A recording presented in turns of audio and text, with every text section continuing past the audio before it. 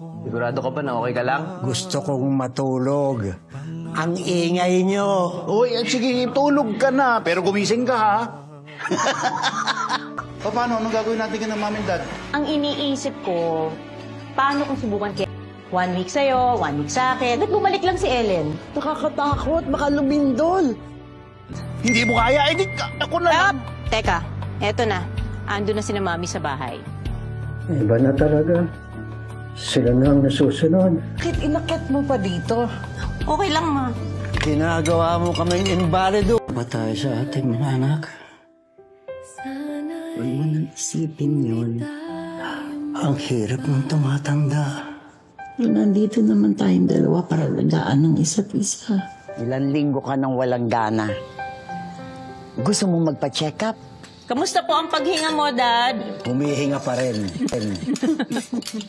Payag ka na ba na magkaroon ng nurse? Kayo? Para may magtingin sa inyo? I already said no. Oh, okay. Concerned lang ho si Kuya. He doesn't even listen when I talk. Dad never listens. Shut up, ha? Kuya, kuya, kulang.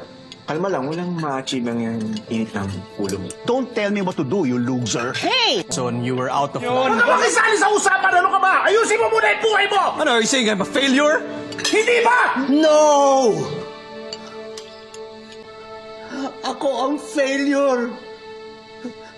Because I raised all of you.